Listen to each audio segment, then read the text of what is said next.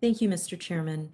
Um, you know, one of the areas that I've had um, some concerns about is um, Iran's uh, both direct and through proxies um, influence in Syria and Lebanon. And in fact, I um, was able to secure provision in the fiscal year 2020 um, Intelligence Authorization Act to ask the DNI to, you know, report to us a bit about um, the, those efforts by Iran and and what and how those efforts might um, impact U.S. interests and, and our allies, including Israel.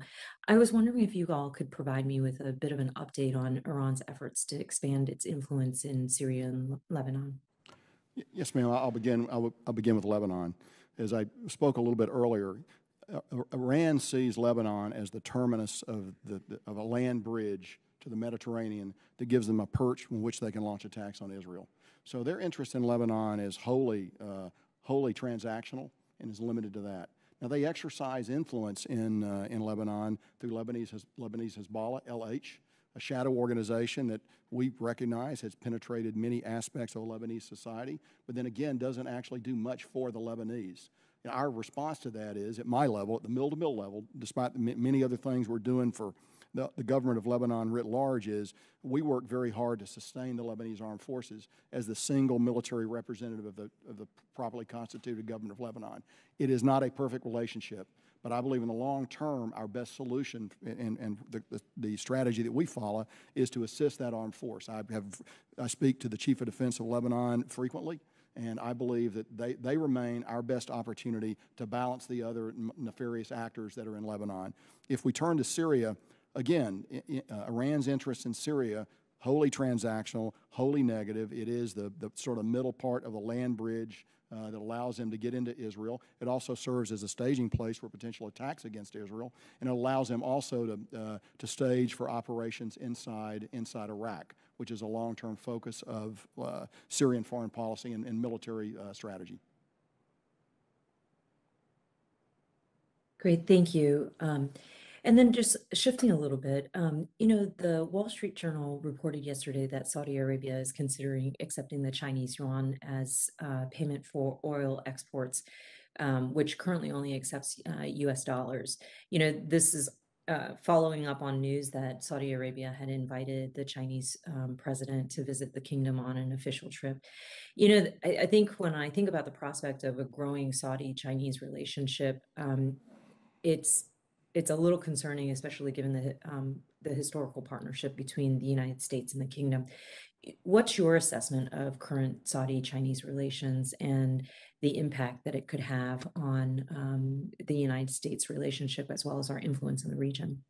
Uh, ma'am, I can only talk really in my lane at the mil-to-mil level, but I will note that we, we, I have a good relationship with the Saudi Chief of Defense. We talk frequently. It, it is my belief that we remain the preferred partner of choice for the Kingdom of Saudi Arabia. They want, they want our equipment, and they want more than our equipment, which is demonstrably the best available. They want the training, the education, the, and all the things that come with a partnership with America. As for outreach to the Chinese and, and what they might do with oil sales there, probably not, not my lane to answer. I'll defer to, to Ms. Baker on that. Yeah, I, I, mean, I agree completely with everything that General McKenzie has said. The only thing I would I add, perhaps by way of context, it's it's clear to us, I think, that strategic competition has come to the Middle East and perhaps has been there for quite some time. And so we do see China and Russia uh, but particularly China, looking for economic and other inroads uh, with some of our partners and allies. As General McKenzie said, from a defense perspective, we believe that those relationships are strong, that we remain the partner of choice, and that there are things that we bring to the table and that we're offering to partners and allies in the region uh, that, frankly, uh, China and others can't match. Thank you, and I yield back. Mr. Waltz is recognized for five minutes. Thank you, Mr. Chairman. Uh, General McKenzie, thank you again uh, for, for your service to this great nation and, and, and Semper Fi. I just have a, a, a, pretty straightforward question for you on Afghanistan. Just given how the withdrawal, not the 20 years, not the mistakes that we've made, but given how this withdrawal was conducted, which I think most would say was a, was a bit of a debacle any regrets? I think the end game for Afghanistan that played out in the summer of 2021, those events didn't begin in the spring of 2021 or the summer of 2021. You've got to look all the way back for that. Certainly, I regret that we no longer have the ability to be as effective as we would like to be on the ground in Afghanistan in the CT mission. We're doing that over the horizon. As I've said, it's much harder to do that over the horizon, and I'll talk in great detail about that in the closed session. So I certainly regret that we no longer have that opportunity. I've spoken with a number of the 13 Gold Star families who are now without their loved ones because of an ISIS fighter, suicide bomber that was released from Bagram prison just weeks before. Uh, I just received notes from Afghan women who served in the military alongside us that are being hunted down right now with the database that we left behind, with the payroll database. No regrets there? No, nothing we could have done differently in terms of, of how we exited? I think you go back to the basic strategic decision that we were leaving, and everything else flows from that basic strategic decision that we're going to leave, and we're going to leave completely, and everything flows from that. And was that the right decision, in your view? I have, my opinion has been, and I've stated it publicly, that we should have retained a small presence in Afghanistan. I argued for 4,500 in the fall of 2020, and in, as we went into the spring of 2021, it was my opinion, and remains my opinion today, that about 2,500 would have given us adequate forces on the ground to retain an advising capability. I appreciate that, uh, and, and I appreciate you reminding this committee of that because I think we are going to come to regret this decision, and I think it's going to be felt on the homeland, and it's going to be felt by future American soldiers that have to go fight their way back in to deal with it. Ms. Baker, along those lines, the FY22 NDAA required an over-the-horizon strategy within 60 days of passage. That was about a month ago. You're a month late. Where's that strategy? Uh, Congressman, I, I- don't know the exact uh, uh, uh, progress of that strategy. I'd be happy to look into it and get you an answer. You don't know the progress of an over the horizon strategy required by law. The President of the United States has cited the over the horizon strategy. Secretary Austin, your boss here, the last time he was here, said we can do over the horizon. We can keep America safe. I'm in my district saying the administration says we can do this, even though as a special operator, I know better. What's, what's the status? General McKenzie, have you chopped on it and sent it up to OSD? So that strategy is, is, is- is working right now. I have, we have had the opportunity to work on that strategy, and we actually have a practical strategy that's in effect right now. Again, something I'll be happy to talk about in the closed session. And Congressman, if I could just clarify, we do have a strategy for over the horizon. Uh, What I was referring to is the specific report. I don't, I don't know what the status of that report is, but I will get you an answer. Okay. Do you, what local out, let, let's take a step back. We just had a successful strike against the leader of, um, the leader of ISIS, the successor in Syria. And as I've stated in this committee before, but I think it's worth repeating, we had local allies that helped with that, correct? The Kurds. We have bases in the region in Jordan, Turkey, Israel, northern Iraq, right? Sir, I, I would still characterize that strike, and I'm the, as you know, I'm the officer who Would you- did it. I would Would you characterize that as over the horizon? That is over the horizon. Okay. That is, I would characterize that as But let's, over-the-horizon let's strike. look at the map again. Do we have any bases in any neighboring country in Afghanistan? No, the difference is, as you, as you note, the distances are far greater going into Afghanistan. Conceptually, it's the same thing. The distances are greater, the risk will be higher, and you're well aware of that, sir. I- I Right? know you- Are we still reliant on Pakistan for overflight of our, our ISR assets? There's no other way to get into uh, Afghanistan for me right now. Pakistan has historically supported the Taliban, correct? They have also supported us. The airline of communication is, uh, uh, is a direct reflect of Pakistan's But it's a of us. bit like asking the arsonist for access for the fire department to put out the fire should the homeland be threatened again. We are reliant, just to be clear, we are reliant on Pakistan for that overflight. Otherwise, we got to fight our way in. We are reliant on Pakistan, but as you know, we always reserve the right to defend ourselves anywhere in the world. Thank you, Mr. Chairman. I yield. Thank you. Uh, Mr. Crow is recognized for five minutes. Thank you, uh, Mr. Chairman, and thank you to all of you for your service to the country and for coming in, and particularly General Townsend and General McKenzie uh, uh, in your last appearance here before the committee. I applaud you for your long uh, and, and honorable service to the country.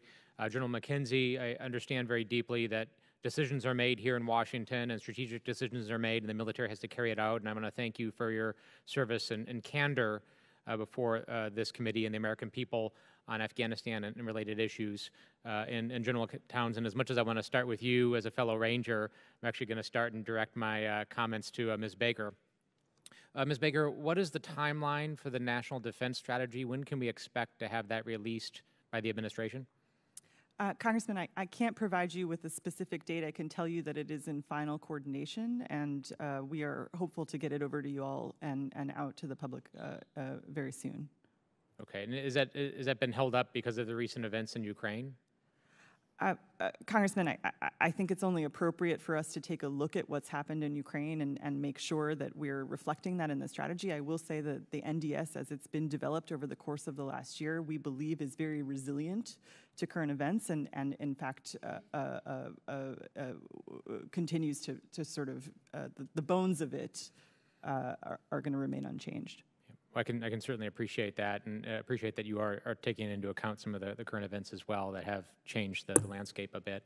Um, focusing in on, on uh, Africa, you know, we have this, uh, this notion, this um, proclivity to, to kind of look at China as 10 feet tall sometimes, and certainly they're making big investments, and it would be a mistake for us to underestimate them.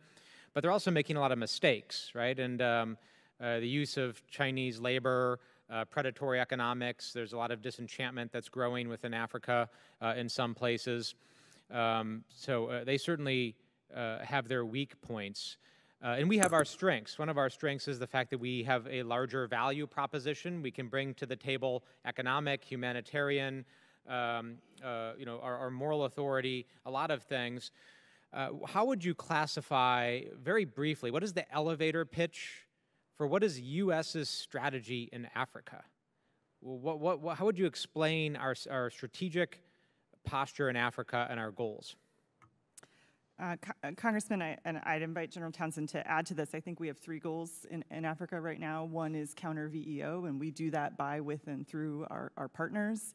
Uh, the second is to that to that same point, we are working to strengthen those partnerships and strengthen. Well, those are. I, I don't mean to interrupt. Those are things to do. Those are tasks, enablers. What is our overarching goal? Goal. What, how do we want to be known in Africa, and how would you classify our engagement? Uh, Congressman, I, I mean, I, I, certainly think that our goal in Africa is to be the continent's strategic partner of choice. Okay. So, with that in mind, um, eh, from your perch at DOD, and, and U.S. government often has silos, right? You, you know, State Department has their silo in their lane, DOD, USAID. If our value proposition is to coordinate all of that and bring that all to bear in a way that uh, our uh, force multiplies each of those elements, how can we better do that, and what are the impediments to achieving that right now? Uh, uh, Congressman, I think we're always working to break down those silos, as you uh, well know from, from your time in, in, in, in uniform. Uh, I will say, I think, and General Townsend, again, can, can jump in here, but it works better in the AFRICOM AOR. The integration of our defense, diplomacy, and development efforts, uh, uh, the fact that, that General Townsend has folks from USAID and states sitting right beside him at, at his headquarters, so I think we've made a lot of progress in AFRICOM, and frankly, there are things we can learn from AFRICOM and apply to other COCOMs.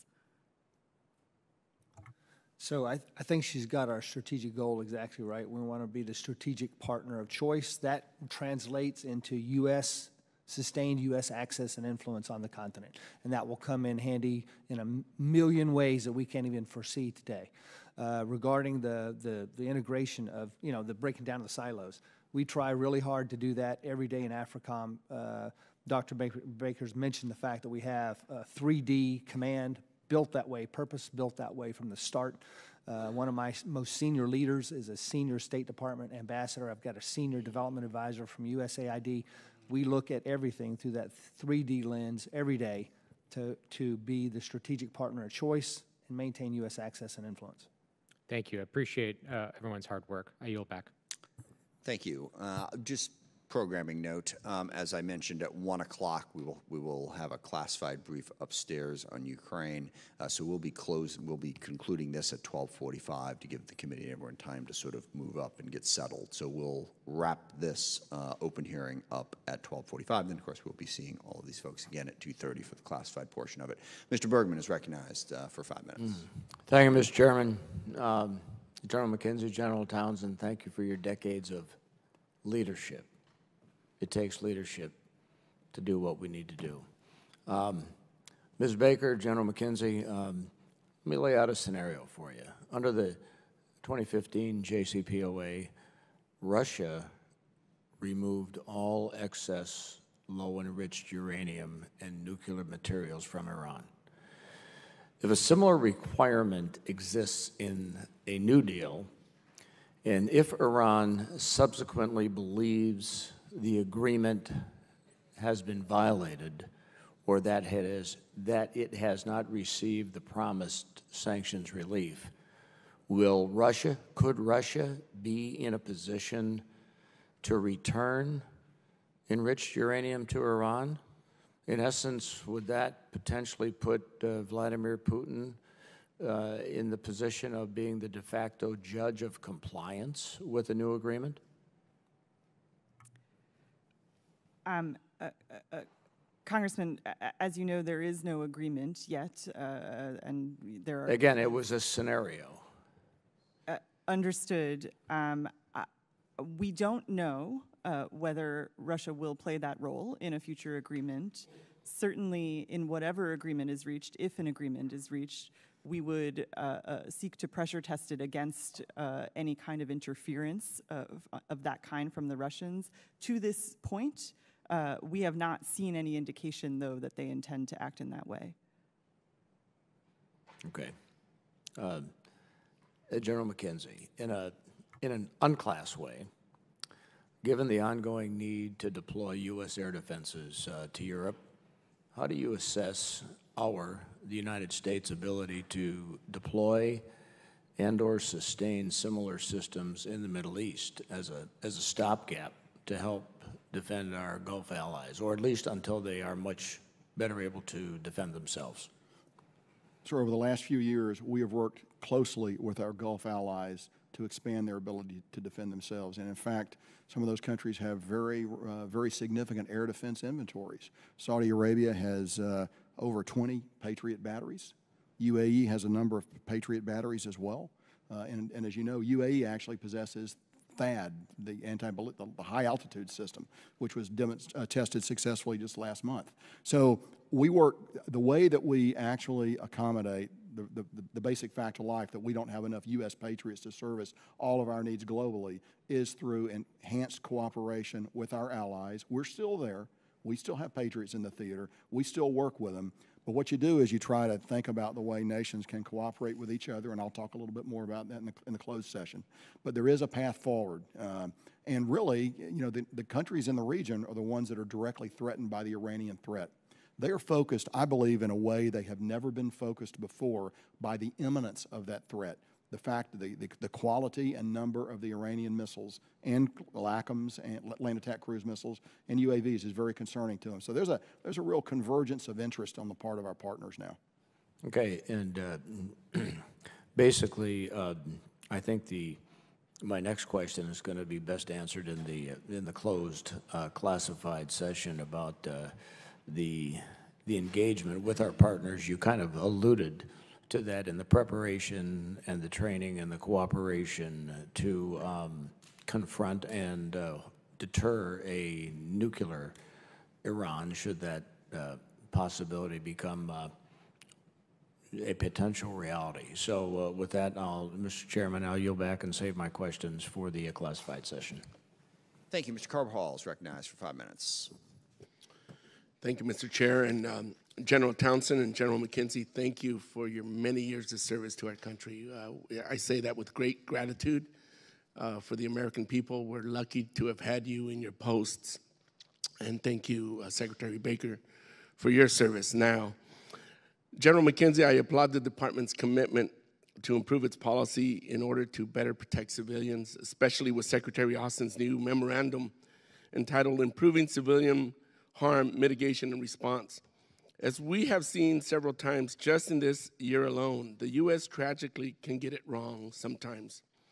With this new memorandum from the Secretary, including standing up a Civilian Protection Center for Excellence and issuing a forthcoming civilian harm mitigation and response action plan, how do you believe this directive will impact the AOR's operations going forward? Sir, thank you for the question. I'd like to begin by saying, nobody wearing this uniform ever wants to kill an innocent civilian. Nobody ever wants to do that. There's nothing, there's nothing that is more completely antithetical from the way we operate.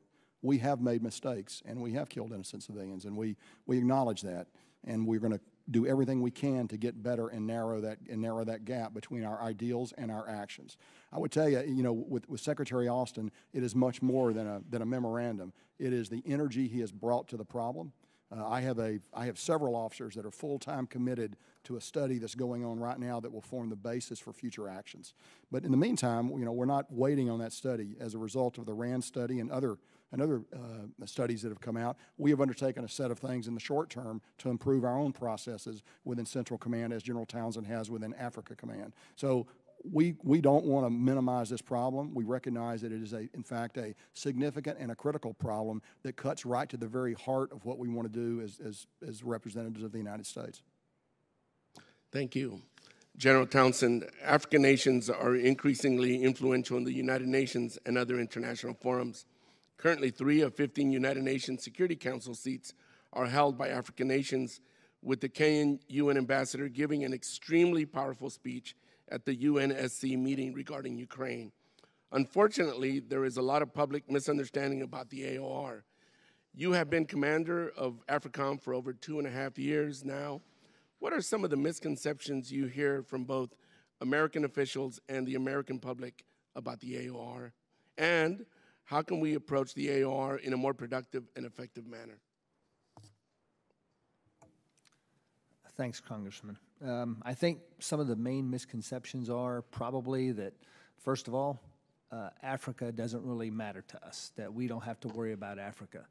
And, and maybe America has been able to largely ignore Africa in the past, but that's not the future. And that's why I said in my opening statement, America cannot ignore Africa. So that's probably the, the number one misperception. Then I think they don't understand that we have a lot of interest and a lot of partners there every day.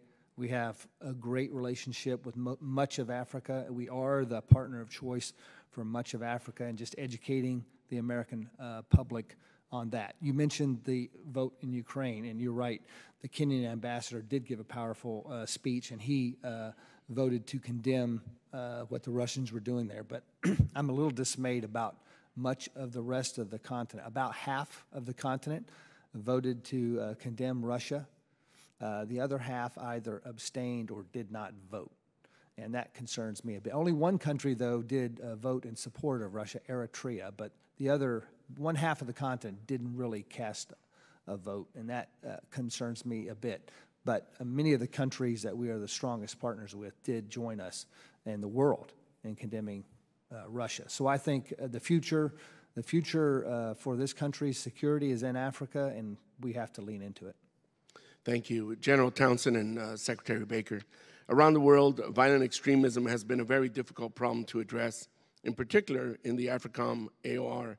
From a report on recent trends in militant Islamic group activity in Africa, the past few years, it appears there has been an alarming increase in violent events by these groups, including Al Shabaab and Al Qaeda in the Islamic Maghreb, area.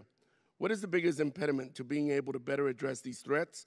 Do you think the U.S. needs to amend our strategy in the AOR? Uh, Congressman, I'll start and then, of course, turn to General Townsend. Uh, you know, I think the challenge that we face in the AFRICOM AOR and, and part of what's driving the, the, growth in VEOs is challenges of underlying governance and underlying security. And so a lot of our effort in the AOR is dedicated towards institutional capacity building, building I that apologize. security. The gentleman's time has expired. I should, I should point to that front. Even if you're in Thank the you. middle of answering the question, we try to wrap up as close as possible to respect other members' time. Uh, Mr. Banks is recognized for five minutes. Thank you, Mr. Chairman. General McKenzie, the original JCPOA was finalized in July of 2015. Iran tested missiles in October 2015 before the deal was even implemented in January of 2016. Directly contradict, all of this directly contradicted the Obama administration's objective to change Iran's behavior for better through the deal. Then, after the implementation of the JCPOA in January 2016, Iran tested missiles again in March of 2016. General Lloyd Austin the then commander of CENTCOM, said in a Senate hearing at the time that despite the JCPOA, quote, there are a number of things that lead me to personally believe that, you know, their behavior is not, they haven't changed any course yet, end quote. General McKenzie, six years later, do you agree with then General Austin's assessment of Iran's behavior following the implementation of the JCPOA? With regard to ballistic missiles, cruise it didn't missiles, change their behavior. It is not, their behavior has not changed. Do you think that the Islamic Republic of Iran will ever give up its revisionist intentions in the region? And if not, what does a successful counter Iran policy look like? Well, I think you begin by Iran not possessing nuclear weapons, and that needs to be an overarching, that's our overarching goal. I think it's better for everyone if Iran doesn't have a nuclear weapon. You should then try to find ways to bring their ballistic missiles, the other elements of their national power that they value very highly, under some form of control. And you're right, they have proven extremely resistant to that up until this time. I appreciate that candidness. The Center for Strategic and International Studies reported on August 10, 2021, that Iran possesses the largest and most diverse missile arsenal in the Middle East and is a major hub for weapons proliferation. If some form of the JCPOA is restored, how do you expect Iran to behave regarding missile proliferation amongst partner and proxy groups? Based on past behavior, I would expect not much modification in that behavior. And can you tell us specifically how CENTCOM is prepared to deal with that? So we work uh, to, to prevent their success, their successful attacks by working with our partners for integrated air and missile defense across the theater, by enhancing the capabilities of all our partners' air defense, air defenses in effect, and that's the best way to do it. I would also argue that uh, Iran knows that if they strike us, we're prepared to respond very powerfully if need be. So we attempt to achieve deterrence. And, and that has largely worked over the past couple of years. You know, I, I note the attack last weekend, but let me emphasize again that attack was actually not directed at us. Understood. Um, General, as one of his first foreign policy initiatives, President Biden delisted the Iran-backed Houthi rebels in Yemen as a foreign terrorist, foreign terrorist organization. But instead of de-escalating tension, the Houthis doubled their attacks on Saudi Arabia in 2021 and occupied the U.S. Embassy compound, in Sana'a and took the local staff hostage. In late 2021 and early 2022, the Houthis also attacked UAE three times, killing three people. In the way the Houthis have conducted themselves, General, do you think that, that the Houthis are terrorists?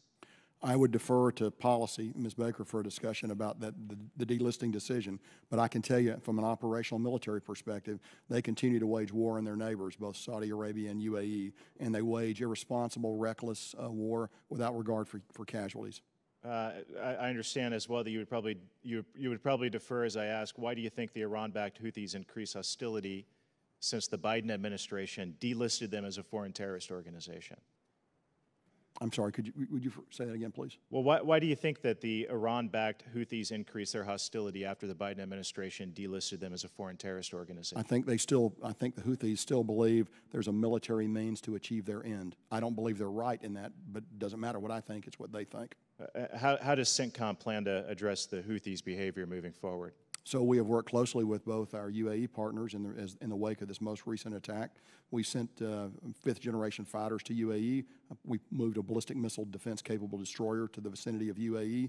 We've conducted refueling of UAE fighters that are flying combat air patrol, and we've shared intelligence with UAE on this. So we've done some very discrete, measurable things to help our partners in UAE. I got, I got 30 seconds left. Ms. Baker, why did the Biden administration delist the Houthis as a foreign terrorist organization? Uh, uh, Congressman, uh, uh, you know, I think n- no one in the administration, certainly no one in the department, uh, takes lightly the threat that the Houthis uh, pose in the region. And as General McKenzie said, we are attempting to get after that problem, and we are providing any number of avenues of support both to the UAE and to the Saudis. this is outrageous. with that, I yield back. thank you. Um, Ms. Speier is recognized for five minutes. Thank you, Mr. Chairman. General McKenzie and Townsend, we can't begin to thank you enough for your extraordinary service, um, but know that we are very grateful. Um, let me start with uh, the report that was just released uh, a few days ago detailing the significant failures in training and physical security at the um, U.S. Cooperative Security location in Kenya, where we lost a service member and two DoD contractors. It was alarming to read that there was inadequate focus on force protection, inadequate, inadequate understanding of the threat, inadequate security force preparation, and problems with mission command. Uh, what has that taught us in terms of looking at other cooperative facilities in Africa as to our responsibility to harden them in terms of security? Thanks, ma'am. Um, Well, first, let me say, uh, we certainly regret the loss of the lives of our three Americans there at uh, Manda Bay. Uh, We've studied uh, this um, situation in great detail uh, over the last two years and have applied the lessons learned across the African continent. All the things you mentioned that are in that report were all uh, true, regretfully so. I think they go back, they stem back to uh, incorrect threat assessments. So when commanders and leaders look at threat assessments, that's their first understanding, and that leads them down, can lead them down the wrong path. So are you they- saying now that all of our facilities in Africa have been hardened and are, have greater protection? Or do, we- do we have some areas where we need to do more? And should you alert us to those? Our, all of our facilities have been improved since the attack at Manda Bay. We applied those lessons across all of them. However, we do have to continue that work. We've got to improve our foxhole every day. That work continues, and we do have requirements in that area. All right, thank you. Ms. Baker, um, in the NDAA last year, um, an amendment that I authored to uh, request the status of African women, excuse me, Afghan women and girls uh, since the Taliban takeover was due March 1st. Uh, We haven't received it. When will we receive that? Uh, Congresswoman, I don't know the status of that specific report, but I would be glad to look into it and make sure we get it to you. All right, um, would you report back to the committee then as to when we can expect that report? Yes, absolutely. All right. Um, Ms. Baker and General McKenzie, as far back as October, uh, DoD said it would be making payments to the families of those who were killed on, on the August 29th drone attack. Can you tell us the status of those payments? Ma'am, that, those, um, we're moving forward with those payments um, in the interagency. I can talk a little bit more about it in the closed session. CENTCOM stands ready to carry out instructions on how to conduct, execute those payments once a decision is made. Well, I thought we already made a decision to make payments to those families. The, mo- so- the modality of the payment and how that, how it's actually going to be executed. So are you saying that there hasn't been any payments made to these families yet? Congresswoman, I, I- just want to be a little careful about what we discuss in the public session because we don't want to put these families at further risk. Uh, but we'd be happy to get you that information and talk about it in the closed session this afternoon. I There just want to make sure made. that when we make a commitment, we deliver on it. And We- we have we will a deliver history of not doing that. So um, I have your word that we are going to deliver to those families. This has the attention of uh, the highest uh, uh, of our leadership, yes. Uh, Can uh, any of you tell us um, the extent of RT in Africa? The extent of what, ma'am? I didn't catch it. Russia Today. Uh, Right. Um, So um, I can't specifically talk about that particular uh, media outlet. I can say this. Russia has extensive media engagement uh, on the continent, uh, and uh, that is greatly facilitated by um, Yevgeny Prigozhin, the oligarch, uh, and his media arm. Uh, in addition to, you know, he has the Wagner uh, mercenaries, but he's got a media arm that does that. You know, I, I do think our committee has to take very seriously the impact of RT around the world. I just came back from Latin America where not only is it pervasive and ubiquitous, it is perceived to be objective. It is perceived to be just a legitimate TV network. And General Lady's time has expired. She makes an outstanding point, however, um, on the need to engage more back. in the information warfare. Uh, Mr. Gaetz is recognized for five minutes. Thank you, Mr. Chairman. I completely concur with my colleague regarding the um, risk that RT poses, and it seems to appear more legitimate and, ob- and objective when members of Congress go on RT. And so I associate myself with the gentlelady's comments, and perhaps she could share them with um, the gentleman from California who chairs the Intelligence Committee, who I've seen on RT talking about legislation, giving him credibility. Um, Ms. Will the Baker, gentleman yield? uh, I I only have a few moments, but I'd love to chat with you about it further. Um, Ms. Baker, you said in response to Congresswoman Bice's questions, we've heard uh, Israel's concerns about the JCPOA. What are they? Uh, Congressman, I, I, think Israel remains concerned, as do we all, uh, uh, about Iran's uh, malign activity in the region beyond its nuclear program, and, and that's something that we discuss with them regularly. So, so their concern is a better resourced Iran, whether through sanctions relief or cash payments, would be more capable in taking action against Israel. Does that surmise there? Uh, Congressman, that is my understanding, yes. And, and can, can we learn anything about whether or not cash payments are on the table as part of a renewed JCPOA? Congressman, I, I, I'm not able to discuss the details of the agreement only because there is no agreement that has been reached at this point. Uh, I think there has been progress made toward an agreement, but of course, the issues that are remaining are some of the most complex.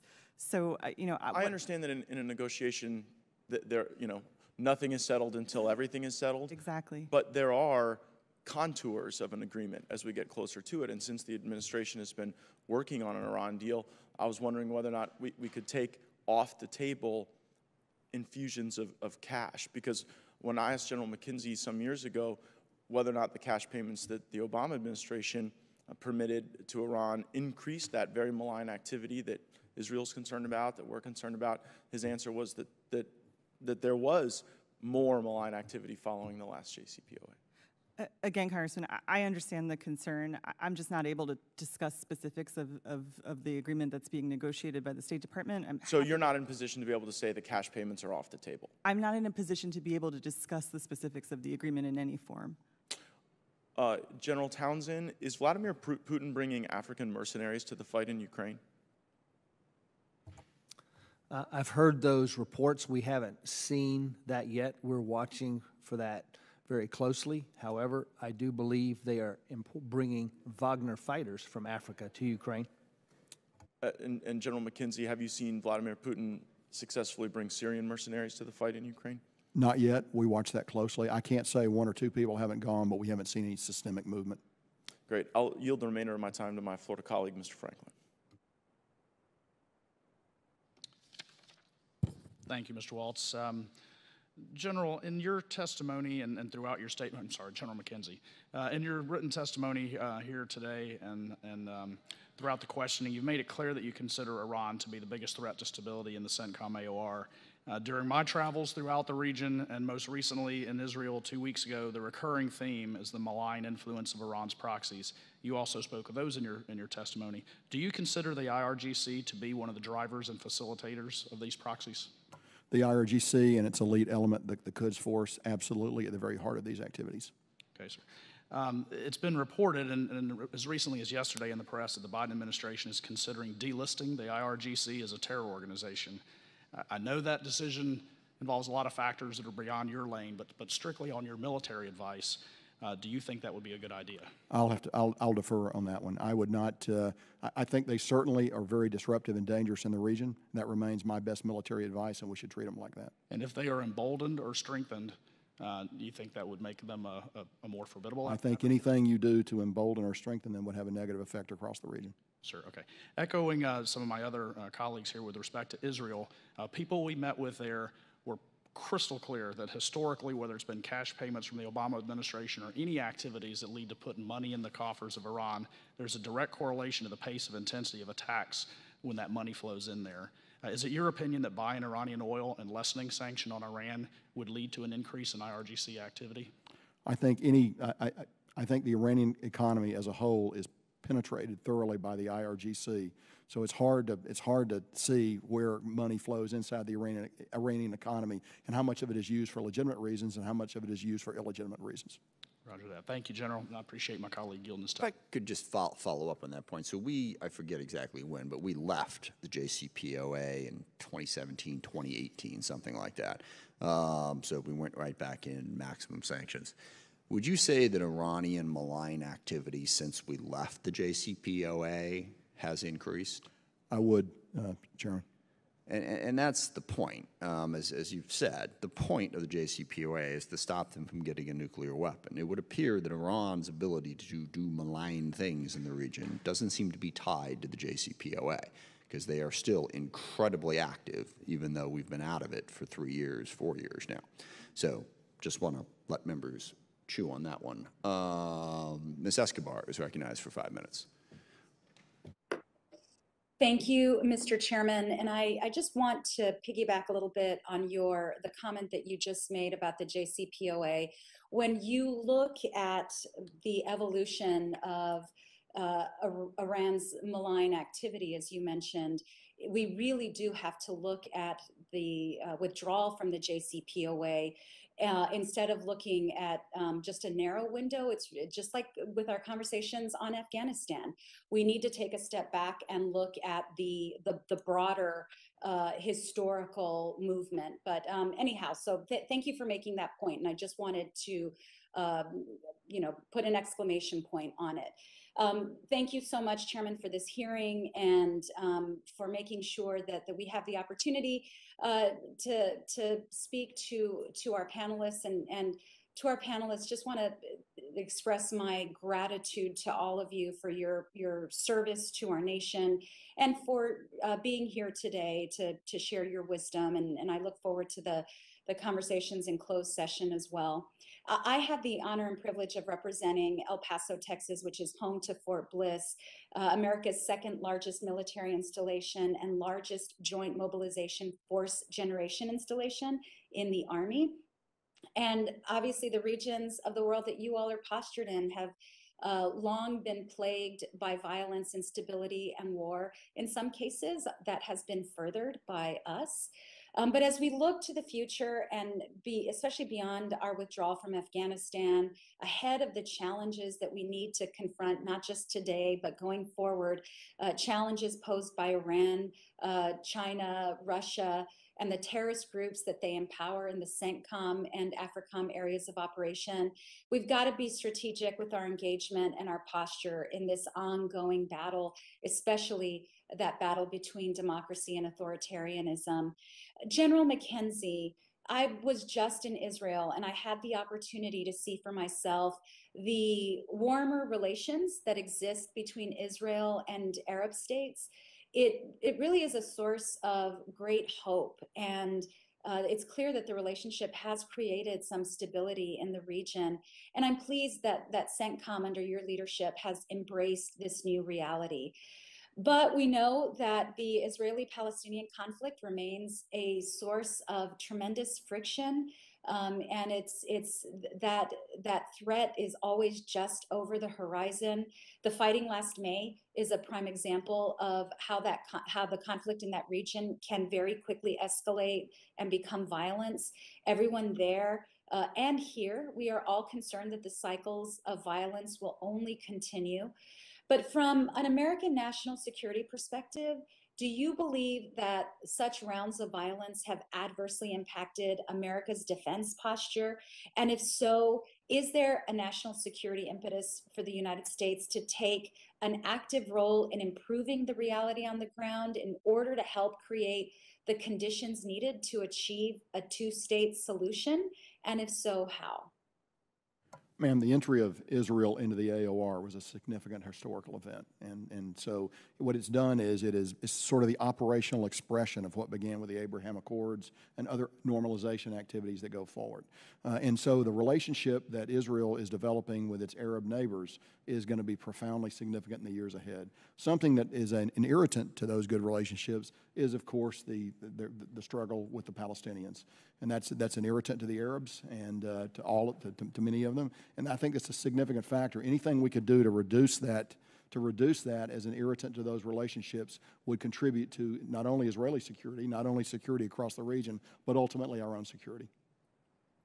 Thank you so much. And I have less than a minute left, but generally speaking, to what extent does U.S. security assistance and coordination allow our regional partners to better coordinate with each other and remove some of the regional security burdens that would otherwise fall more directly on American shoulders? So we have seen over the past year, year and a half, the opportunity for nations to share U.S. resources that one nation purchased, another nation had need of. There are processes that we go through to allow that third, what we call a third-party transfer. Um, and, and we have seen that work successfully. The specifics I'd rather put into the closed session, but I'm prepared to talk about that. But yes, it is, it is something we have found valuable. I would simply tell you, we also struggle sometime, sometimes with the United States bureaucracy when we attempt to do these moves. Sometimes we're our own most significant source of friction when nations want to share things like that. Thank you so much, General McKenzie. I'm out of time. Mr. Chairman, I yield back. Thank you. The chair recognizes Mr. Carl from Alabama. Thank you, Mr. Chair. I appreciate it. I, I, apologize for popping in and out, but as you well know, it's one of those days. Uh, thank you to all of our speakers. It, it's uh, I know it's time consuming for you to come here and take time away, and but I, I appreciate you coming here. And hoorah, General! I raised a Marine myself, so I'm very proud of that. Uh, General Townsend, uh, you mentioned in your statement uh, the growing Chinese influence in, in AFRICOM and their possible plans to establish a naval base on the western side of the continent, allowing the Chinese to do this project. How can we expand our naval capabilities to ensure that the Chinese do not have a dominant posture in this area? Congressman, I, I, I, would defer to the Department and the Navy on how we might expand our naval capabilities there. Uh, the, the naval capabilities that I have today uh, are sufficient to do what AFRICOM must do. Uh, they are not essential to pre precluding what uh, China does on the Atlantic coast of Africa. They will be essential if China is successful in gaining a base there. We would have to, in my view, we'd have to invest more naval uh, presence there and activity to uh, further uh, protect America from a Chinese naval base on the Atlantic coast. Thanks, sir, and that's what I was after. I appreciate that. And I give, I, I give my time back. The only question I have. Thank you. Thank you, Mr. Carl. The chair recognizes Mr. Scott from Georgia for five minutes. Thank you, Mr. Chairman. Uh, ma'am, gentlemen, I appreciate your service. I slipped out for a few minutes to meet with a man named David Beasley, who's the head of the World Food Program. And I want to read to you one of his statements. Uh, we get 50% of our grains out of the Ukraine Russia area. It's going to have a dramatic impact on food costs, shipping costs, oil, and fuel. Uh, this is a catastrophe on top of a catastrophe. He pointed out that Sri Lanka, right now, and I'll just read the headline from Bloomberg shockwaves from war in Ukraine threaten to swamp Sri Lanka. In 2021, more than half of the grain for the UN World Food Program came from Ukraine. Uh, it's a tremendous exporter of wheat, corn, sunflower oil. Russia and Ukraine combined account for 30% of the global wheat exports. As this invasion continues, it's more and more unlikely that Ukrainian farmers will be able to plant their crops, or fertilize their crops, or harvest their crops, or export any of this food supply into the world. Developing countries in the Middle East and North Africa will, will feel the impact of this. And my question is have you considered the instability and unrest that will soon be taking place around the world in your respective AORs? How can we help alleviate uh, the suffering and the instability that we believe will come from this? And what re funding resources do you need to take on this challenge? Uh, thanks, Congressman. So uh, your point is exactly right about uh, the food instability, especially impacting Africa. Uh, in fact, just in the last day or so, the World uh, Health Organization has declared a humanitarian disaster in Ethiopia as being the greatest one on the planet. So, food uh, security or insecurity is a critical part of that on the African continent. I would say, as I said in my uh, opening remarks, I think, and in my written statement, I think it's imperative that uh, we continue to uh, fund USAID uh, because uh, they invest in a robust way on the African continent. It's probably one of the best investments America makes there And I think there's going to be, because of the point you just made, there's going to be more of that required. Sir, I would, I would note, uh, two countries in particular in my AOR will be threatened. One is Egypt, the other is Jordan. Both depend significantly on imports from, from Ukraine, and they will face a growing food insufficiency as, as we go forward. I think, you know, the long-term solution is you'd like to find a regional way to actually supplant exporting food into the region, but that's a long-term solution. Uh, we're, we are looking aggressively now for short-term solutions that'll, you know, that, that will bring wheat and other foodstuffs in for the short term. And you're, what, obviously, you're going to have to find other sources, uh, other global sources rather than Ukraine and Russia, and that's going to be hard to do with a third of the market coming from those two areas. This is a very pressing concern, and I appreciate you calling it out. Ms. Baker. Uh, uh, Congressman, I, I couldn't agree more with uh, uh, what, what Generals McKenzie and Townsend have said. I would add to General McKenzie's list perhaps Yemen uh, as being a country that will face an impact here. Uh, you know, what we're seeing now are the second and third order consequences of Russia's unprovoked and, and illegal invasion of Ukraine. as General Townsend said, USAID has the lead on this issue. We are strongly in support of USAID's efforts and will continue to work with them in an interagency fashion. I, I think what's happening around the world right now is because of the shortages and the anticipated shortages is that people who were receiving some are now receiving none, and a lot of people have had uh, the assistance they were getting through the World F Food Program cut in half. Uh, I think as many as 13 million people in Yemen actually receive some type of, of assistance through the World Food Program. I just I can't emphasize to this committee and to the world enough the devastation of what Vladimir Putin has done in the disruption uh, around the world. And I think that the pain and the suffering that that individual has caused is only is only now beginning to be felt. And I think the world is going to going to be hurting for several years because of what he's done. And I just hope that we're paying attention to the potential civil unrest and instability that comes from the, the lack of the global food supply uh, because of what Vladimir Putin's done. With that, Mr. Chairman, I yield. Thank you. Uh, Ms. Jacobs is recognized for five minutes. Well, thank you so much, and uh, thank you to our witnesses. It's great to see you all again. Um, I uh, first wanted to ask you, uh, General Townsend, a recent reporting brought to light U.S. support to the Rapid Intervention Battalion in Cameroon under uh, the 127 ECHO program. The Rapid Intervention Battalion has been repeatedly implicated in human rights abuses.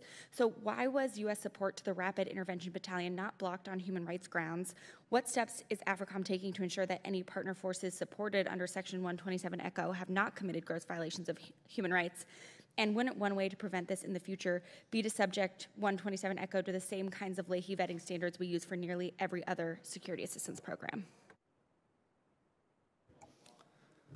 Um, so uh, there was a uh, Amnesty International, I think, report in 2017 that brought this to light. Uh, that the, that caused the department and AFRICOM to look closely at our support, our engagement with uh, the Rapid Intervention Battalion in Cameroon. In 2019, our relationship was ended uh, with that uh, element. In fact, we've drawn down pretty much in 2019 and by uh, early 2020, we ended all of our engagement with Cameroon. We are starting to re-engage there on a very selected basis with some a few programs, but not with the uh, Rapid Intervention uh, Battalion. And uh, we do go through extensive vetting with all of our programs, training programs on the continent, to include the 127 ECHO program. Okay, thank you. Um, Ms. Baker, uh, nice to see you.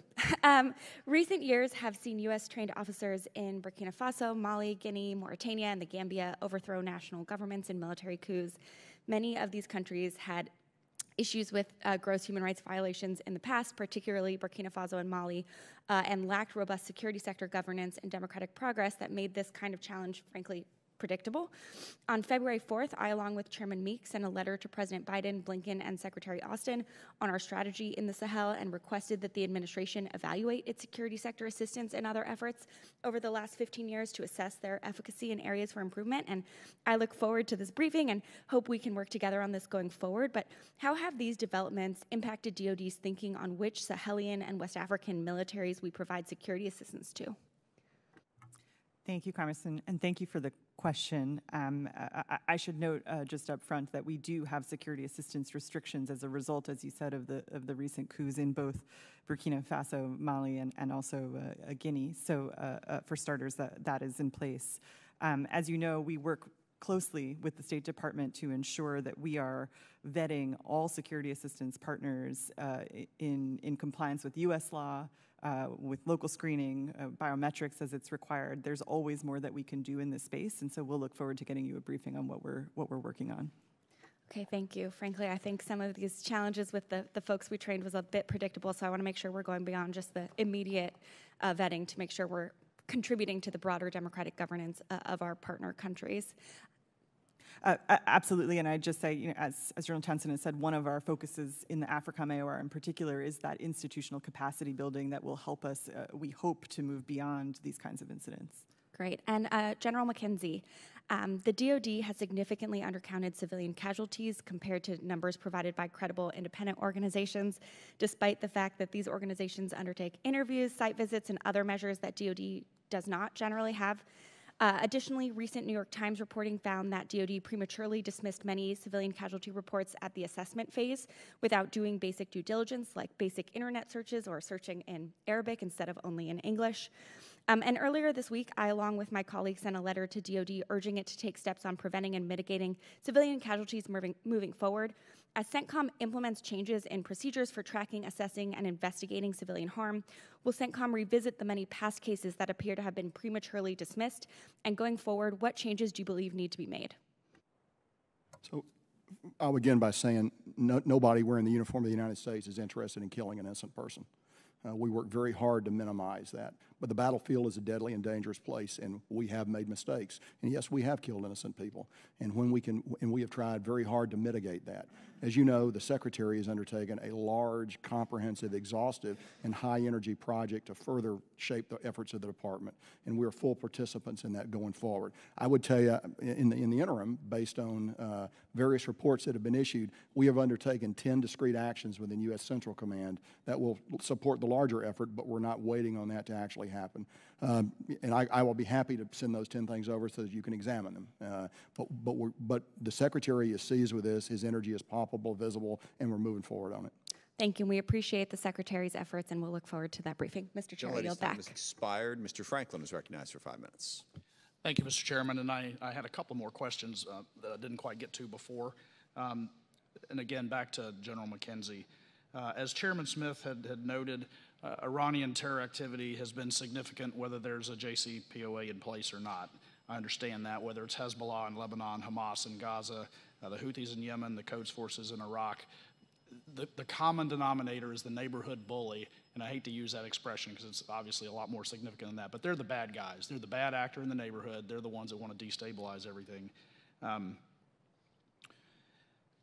I hate to ask this. I wouldn't normally ask this question, but because I understand your your place to provide um, advice and, and counsel to the administration, but but based on the way things unfolded in Afghanistan and knowing now the questions we were asking and weren't getting answers to before things are coming out that there was a lot of advice provided by the Pentagon that was not heeded by the administration. So before we get this this treaty that the administration seems really bent on getting back into into place, I think it's it's really essential that the details are discussed. Um, has the White House engaged you for re- your regional security expertise in the negotiation process of this Iran deal? So I, my, the person I engage with is the Secretary of Defense and Policy. Okay. And I have a constant dialogue with the Secretary on all issues within the CENTCOM AOR. And I understand the secretary's got a lot on his plate, but where he's getting his primary source of the boots on the ground feedback is, is going to be from you. I think he gets it from me. I think he gets it from policy, you know, a, vari- a variety of sources. Okay. So uh, my concern is what we're seeing on the press out there, in the press, of what may be coming out, delisting IRGC, buying Iranian oil. Uh, those, from what you've told us here, would not be in alignment with your advice on what's best from a military perspective. And I don't, I don't expect you to comment on that. But it's either that or, the, or they're not asking for your advice at all. And I find either of those to be very concerning. And uh, we're going to watch very closely on how this treaty develops. But uh, I thank you all, and, and um, I would, uh, assuming that this will be the last time the two of you uh, testify before us, but I want to thank you as a former mil- military member for your decades of service. It's a lot of hard work and not very gratifying a lot of times, but uh, your, your nation appreciates your work, and I, and I yield back. Thank you very much. I just want to clarify in the last answer, Joe McKenzie said he is speaking to Secretary Austin, and that, that's the chain of command here. Um, the White House is not ignoring the Department of Defense's opinion on this. Um, they are speaking with Secretary Austin, who is speaking to his people, and that's where the information goes back. And I will, the, the larger point is it's, you know, we have civilian control of the military for a reason. You know, the, the president is ultimately the one who has to make decisions. Um, if we want to just do whatever the military told us, we wouldn't have civilian control of the military. You take the advice, you process it, and you make the best decision you can, and that, that's what they're trying to do. And Mr. Chairman, if I could, I, I, do, I do just want to clarify that both the chairman and the secretary have had opportunities to provide that advice to the president and to offer their recommendations. Okay, thank you. I appreciate that clarification. Uh, Mr. Gallagher is recognized for five minutes. Thank you, Mr. Chairman. Um, Ms. Baker, your testimony references um, uh, the emerging concept of integrated deterrence multiple times. You say the department will continue to lean forward in strengthening multilateral security cooperation in order to strengthen integrated deterrence and to address threats, particularly those emanating from Iran. Later on, you say uh, the integrated deterrence means creating advantages for ourselves, our partners, and our allies while creating dilemmas for our competitors. I'd like to talk a little bit about the dilemmas you envision under integrated deterrence. I know this is a CENTCOM hearing, but I wanted to ask quickly about Russia. Your portfolio is obviously very vast. Would it be a fair characterization of the administration's policy that sanctions are designed to deny the Russian government resources they would otherwise have available in order to punish their behavior? Uh, uh, Congressman, I would say that the sanctions that the U.S. led and that are uh, not only U.S. Uh, uh, owned but but multinational at this point are designed to impose consequences on Russia for its illegal invasion of Ukraine. So that's a yes to punish their behavior, and by punishing Russian behavior, are we are creating dilemmas, as you put it, uh, or at least costs for the Russians, right? Cost imposition. Yes, correct? Congressman. So under the same logic, if another actor, say China provided the Russian government with funding to help them evade sanctions, that would, in a sense, create an advantage for Russia in the, in the sense that it would mitigate some of the costs we impose via sanctions, right? Uh, uh, uh, Congressman, yes, and, and we are uh, having a conversation with China uh, about our concerns in, in that regard. I think this is a very important point, not only because as we evaluate whether China increases its support to Russia, but to be clear, if our adversaries have access to more resources, that creates an advantage for them. And if our adversaries have more resources and are more capable, that creates dilemmas for ourselves and for our allies. And I bring this all up because I think it's a self evident point that's getting lost in the shuffle that policies that give our enemies more resources give them an advantage, and by the administration's own admission, undermine its vision, such as it exists, of integrated deterrence. And I bring this up because, as my colleague Ms. Luria brought up before, we may be days before, according to some days away, according to some reports, uh, from signing a, a deal with Iran, which will, in any scenario, provide a massive windfall to the tune of billions of dollars to the world's primary state sponsor of terrorism. And everything else aside, indications are that this deal will provide you know, unprecedented sanctions relief well outside the scope of its nuclear program to the Iranian government, including from terrorism related sanctions. And I don't think you have to be an opponent of the original JCPOA uh, to understand that this makes no sense. Just take the administration's own words at face value. Their strategy calls for creating advantages for our allies and dilemmas for our adversaries. But this deal, by providing massive resources to our primary adversary in the Middle East, will create dilemmas for us and provide advantages to our foremost enemy. And just a quick question on that point. To your knowledge, is the Central Bank of Iran still financing terrorism? Uh, Congressman, uh, that's a question I'd have to defer to, to Treasury and others. Okay. I've asked this question in other committees. I've asked it to the CIA director it's a matter of public record. The Treasury Department has put a, cla- uh, I, it's not, it's not, doesn't take uh, arcane or exquisite intelligence to, to know the answer. I take, but we'll take it back. Um, I guess since you responded to an earlier question from my colleague, Mr. Crow, I believe, that the NDS is now being delayed because of the crisis in Ukraine. Is that correct? Uh, Congressman, I wouldn't say it's being delayed because of the crisis in Ukraine. It is, it is uh, uh, in final coordination, and we hope to have it to you soon. Okay. Um, are you rethinking any of the assumptions underlying the NDS as a result of Ukraine, or do you see it as a validation of integrated deterrence? Congressman, we believe that the strategy, uh, uh, uh, in fact, took into consideration some of the behavior that we've now seen Russia exhibit, and that it's resilient to what we're seeing uh, uh, from the Russians at this time. So, do you believe integrated deterrence succeeded in the case of Russia Ukraine? I think what you're seeing uh, right now is integrated deterrence in action, bringing together uh, the the sanctions, uh, uh, the the allies and the partners. All I have seven seconds, but what you're effectively saying is your entire theory of deterrence requires on a country getting invaded and pillaged in order to galvanize the West into action. And I just don't want to put our eggs in that basket. I'm out of time. Thank you. I appreciate it. I will point out, we, we have sanctioned many nations long before they invaded um, another country. Certainly, we had sanctions, you know, against Russia. We had sanction, we have sanctions against Iran now. And I think the, the central dilemma that this administration is trying to wrestle with is we also don't want Iran to get a nuclear weapon. Um, and that's kind of the trade-off on that that we're trying to go through. And I have not seen any other reasonable plan other than negotiating with Iran for how we stop them from getting a nuclear weapon.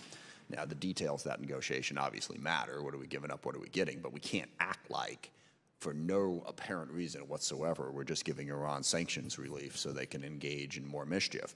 No, there's a very, very, very big reason why we're engaged in these negotiations, and that is we don't want them to have a nuclear weapon. Um, now, you, you know, debate whether or not we're going to get there on that, but I think that's worth at least throwing in there in, in, into that conversation and discussion. Um, we have no uh, further requests for time. I want to thank you all uh, for your testimony. We'll see you in a couple hours uh, on the classified side, and with that, we are adjourned.